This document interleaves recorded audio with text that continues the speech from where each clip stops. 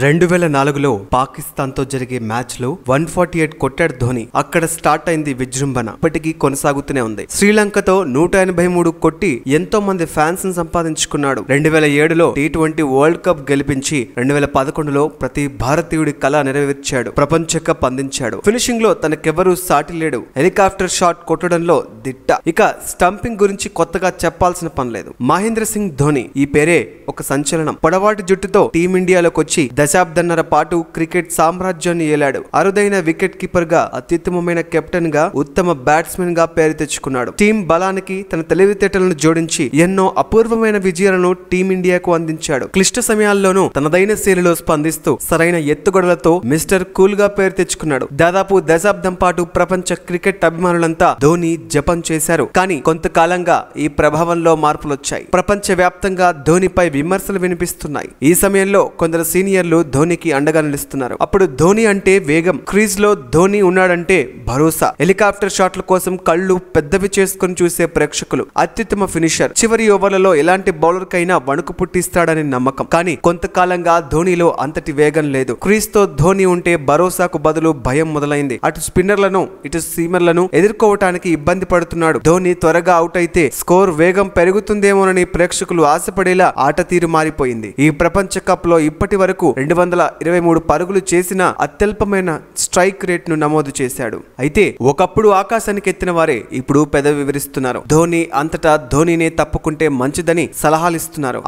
పెదవి వివరిస్తున్నారు. సరిగ్గా ఇలాంటి క్లిష్ట సమయంలోనే ధోనికి సీనియర్లు అండగలనిస్తున్నారు. విమర్శలతో కుంగదీయకూడదని సానుకూల వాతావరణాన్ని కల్పిస్తూ ధోనిని కాపాడుకోవాల్సిన సమయమని వ్యాఖ్యలు చేస్తున్నారు. నేను గతంలో చాలాసార్లు చెప్పాను. అదే ఇప్పుడు చెప్తున్నాను. దిగ్గజ క్రికెటర్ల ఆట తీరుపై సందేహాలు వద్దు. ధోని ఓ దిగ్గజం. క్రికెట్ ప్రపంచంలోనే అత్యంత గొప్ప ఫినిషర్. వరల్డ్ కప్లో ప్రస్తుతానికి ధోని మెరుపులు లేకుండానే భారత్ జట్టు విజయాలు సాధిస్తోంది. ఈ సాకుతో నిర్లక్ష్యంగా అతన్ని దూరం చేసుకోవటం పొరపాటు. టోనీలో తర్వాత జరగనున్న సెమీస్లో ఫైనల్లో అతడి అవసరం టీం కి రావచ్చు. క్లిష్ట పరిస్థితుల్లో టీమిండియానే ధోని గెలిపించగలడు. అతన్ని కాపాడుకోకపోతే టీమిండియాకు చాలా నష్టం అంటూ మైకేల్ క్లార్క్ ధోనికి అండగా నిలిచాడు. మరి ధోని అభిమానులు ధోనిని పట్టించుకుంటారా లేదా అనేది వేచి చూడాలి.